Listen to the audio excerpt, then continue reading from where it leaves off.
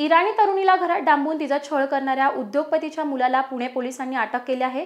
धनराज मोरारजी असं अटक करण्यात आलेल्या उद्योगपतीच्या मुलाचं नाव आहे. तो अरविंद मोरारजी यांचा मुलगा आहे. परवीन गेलाची नावाची एकतीस वर्षीय तरुणी पुण्यात कॅम्प्युटर सॉफ्टवेअर कोर्स करण्यासाठी इराणहून पुण्याला आली होती. तिथे तिची एका मित्राच्या माध्यमातून धनराजची ओळख झाली. मे महिन्यात तेराहून पुण्यात आलेली परवीन नोव्हेंबरच्या पहिल्या आठवड्यात धनराजला भेटली. परवीन सुरुवातीला धनराज सोबत अतिशय आनंदात होती त्यामुळे ती धनराजच्या कोरेगाव पार्क येथील आलिशान घरात राहू लागली. मात्र यानंतर धनराज तिला मारहाण करू लागला. त्यानं तिचा पासपोर्ट इतर कागदपत्रे आणि मोबाईल देखील जप्त केला. त्यामुळे परवीनला तिच्यावर होत असलेला अन्याय कोणालाही सांगता आला नाही.